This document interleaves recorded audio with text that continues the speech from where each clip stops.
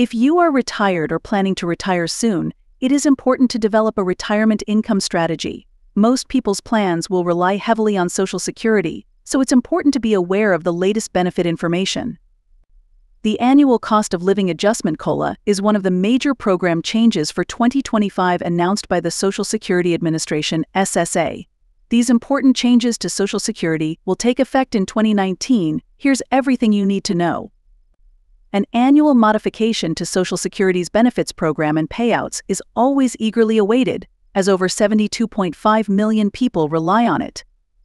Five changes from Social Security will become effective in 2025 the cost of living adjustment COLA for 2025 will increase by 2.5%.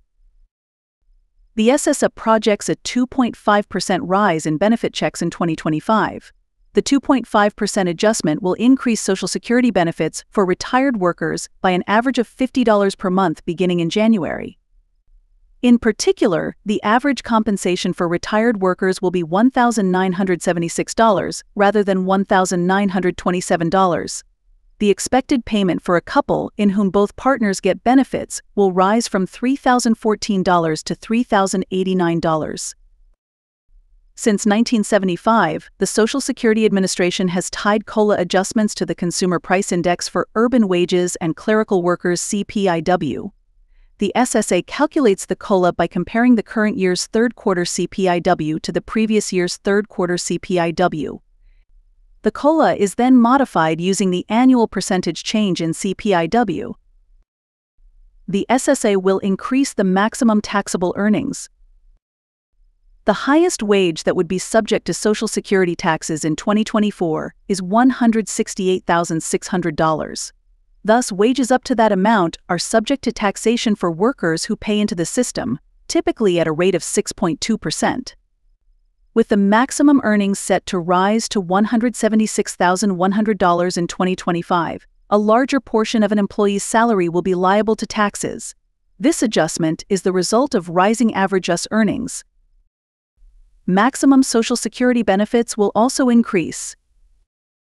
For a worker reaching full retirement age in 2025, the maximum Social Security payment will rise from $3,822 in 2024 to $4,018 those who retire at the full retirement age, which is 67 for those born after 1960, are subject to this cap. For those who retire before they reach full retirement age, the maximum payment will be reduced. On the other hand, those who retire after the full retirement age might boost their maximum payout by postponing retirement. Spouses and disabled workers' benefits will increase too. In 2025, all benefits will see an increase in average, including payments for widows, widowers, and the disabled. These numbers are broken up as follows. The SSA says it will increase from $3,669 to $3,761 for the average widowed mother with two children. Aged widows and widowers living alone will see their benefits increase from $1,788 to $1,832 the benefit will increase for a disabled worker with a spouse and one or more children from $2,757 to $2,826. Social Security will adjust earnings test exempt amounts.